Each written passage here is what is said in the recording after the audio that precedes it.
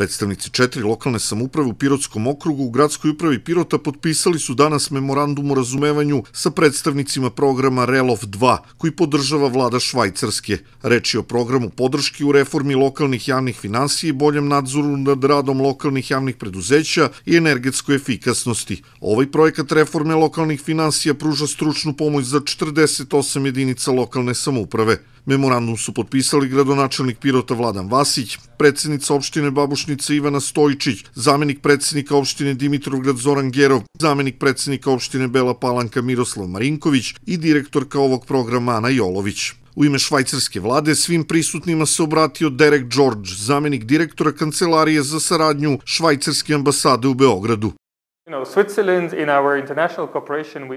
Švajcarska vlada uvek se trudi da pomogne lokalnim samoupravama, jer su upravo lokalne samouprave u bliskom kontaktu sa građanima. One najbolje prepoznaju njihove potrebe i to je najbolji način da se narodne pare troše u javnom interesu. To se pre svega odnosi na javna preduzeća, upravljanje strujom, vodom, otpadom. Sve to donosi napredak i u privredi i svim drugim oblastima života. Tada građani veruju lokalnim samoupravama i svi su na dobitku. Zato vlada Švajcarske podržava ovaj projekat.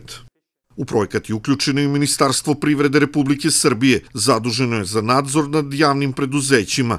Poslednja komponenta koja jeste u nadležnosti Ministarstva privrede je jako važna kako za celu državu, tako i za jedinice lokalne samouprave kao osnivače koje moraju da nauče e, kako da upravljaju preduzećima su, koje su osnovali i kako bi ta preduzeća poslovala uspešnije u cilju pružanja boljih usluga privredi i građanima. Grad Pirot je učestvovao u prvoj fazi projekta Relov i iskustva su izuzetno pozitivna. Kroz projekat Relofa i kroz saradnju sa njima smo zaista unapredili ljudske kapacitete znanja, primjena nekih softverskih alata u analizi, u određivanju sredstava prema budžetskim korisnicima, narošto prema indirektnim budžetskim korisnicima, dakle to je deo koji se odnosi na finansijsku kontrolu i upravljanje i unapredili smo ne samo znanja u našoj gradskoj upravi, nego i znanja ljudi koji su u našim ustanovima, naročito, rekao sam, kod indirektnih budžetskih korisnika.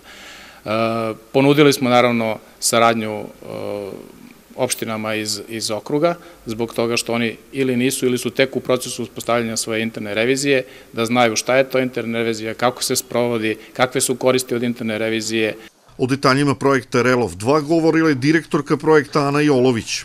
REL 2 projekat e, trenutno podržava 48 gradova i opština, četiri ministarstva, Nacionalnu akademiju za javnu upravu i autonomnu pokrajinu Vojvodina u sledećim oblastima, to su finansijsko upravljanje i kontrola, interna revizija, nadzor nad javnim preduzećima i uvođenje nekih inovativnih finansijskih mehanizama, poput recimo ono koji sada evo postaje sve popularniji, a to su mere energetske efikasnosti i podrška merama energetske efikasnosti kada su u pitanju domaćinstva. Kroz projekat Relov 2 gradovi i opštine će dobijati pomoć u pogledu primene propisa od eksperata Relofa, kao i pomoć u dobijanju mehanizama i alata koji će doprineti boljem radu javnih preduzeća.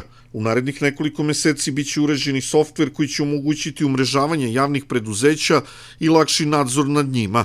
Kada softver bude završen, sledi period testiranja i nakon toga obuka korisnika softvera u lokalnim samoupravama.